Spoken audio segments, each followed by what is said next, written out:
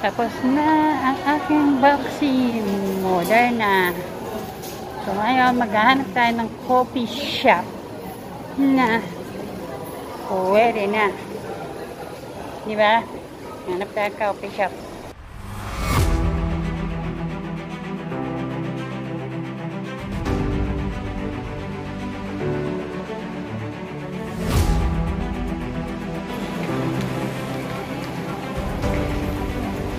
Guys, mag-night coffee tayo.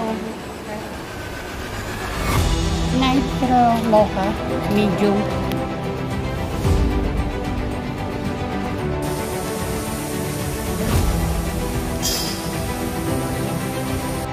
Ah, nitrogen coffee ito.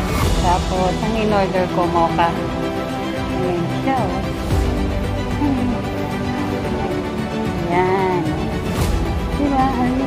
Place niya. Ang ganda, diba guys? Try nyo na lang sa Mega Mall. Diba? Mmm.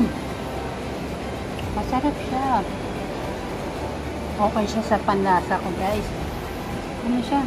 Nitrogen coffee. Ang sarap na. Sarap siya. Masarap.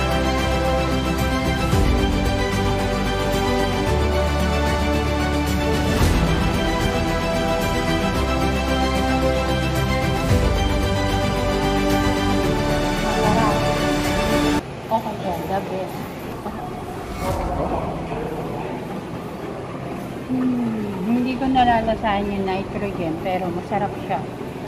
Okay siya. Hindi nagbago ang lasa. Ganun pa rin. Masarap nga. Bye-bye. Hmm?